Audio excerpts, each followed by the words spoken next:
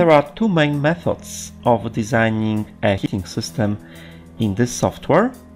One is designing on plan views and the second is designing on a diagram. In this tutorial I will show you how to design a heating system on plan views. So, to design the heating system, in this case, you would need a plan view or a set of plan views of the building. And you may even draw them in this software. However, the most efficient way is to import them from HeatLoad program. To do it, we have to go first to a drawing window. So we will press data menu and then we'll select drawing command. Now we are in the drawing window and we can go to file menu and select import building base drawings. Then we'll select the file, the file with the results from the HeatLoad program. And now if you have a look closer underneath, we've got more tabs.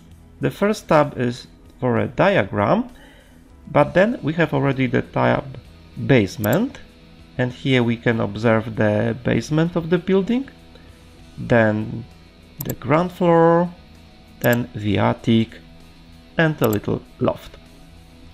If you have a look again, closer to the building, you would see that this is not a typical drawing made of lines, squares, uh, circles and so on. This is a logical model of the building.